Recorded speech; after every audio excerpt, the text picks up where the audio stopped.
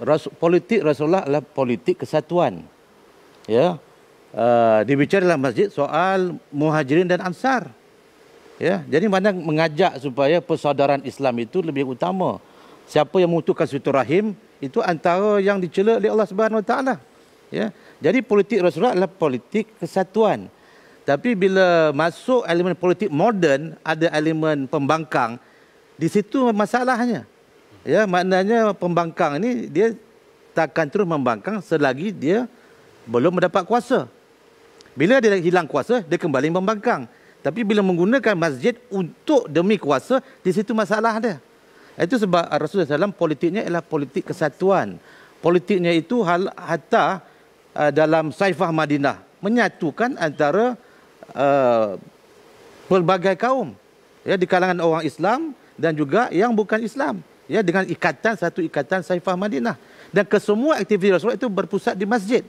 Uh, tetapi apabila kita menerima konsep uh, demokrasi barat moden ada elemen politik pembangkang dan juga pemerintah ya. membawa elemen itu ke dalam masjid di situ masalah dia.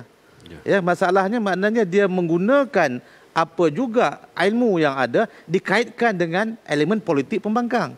Ya, di situ ada masalah.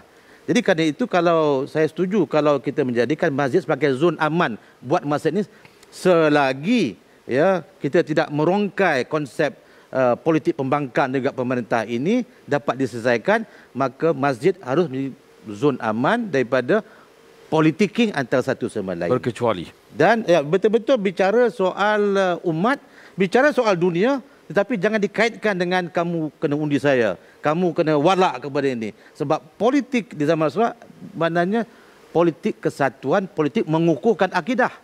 Tapi jangan mengakidahkan politik. Ya politik ini adalah sebagai satu usaha untuk mendapat uh, kuasa dalam pemerintahan. Tapi siapa yang bersetuju dan tidak bersetuju jangan dijadikan musuh Allah. Jangan dijadikan hizbus syaitan. Ya Uh, mana ini adalah istihadi ya adalah pemilihan kita pada pandangan kita tetapi bukan dikaitkan dengan persoalan akidah yang menyebabkan kamu boleh masuk neraka seandainya kamu tidak menyokong saya. Jadi kalau elemen ini dibawa ke dalam masjid, confirm dia akan akan berpecah. Ya. ya, jadi kerana itu kalau di untuk masa ini saya mencadangkan supaya ianya harus menjadi zon aman.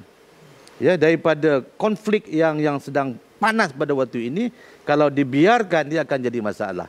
Jadi pembicaraan mesti politik kesatuan, politik perpaduan dan Malaysia Madani ke arah mengajak supaya semua bersatu. Ya. Dan di Agong pun mengajak, mengajak semua parti politik bersatu. Ya. Tapi ditolak. Dan inilah masalah kita berpanjangan sekiranya kita tidak meletakkan politik kesatuan yang dibawa oleh Rasulullah sallallahu alaihi wasallam.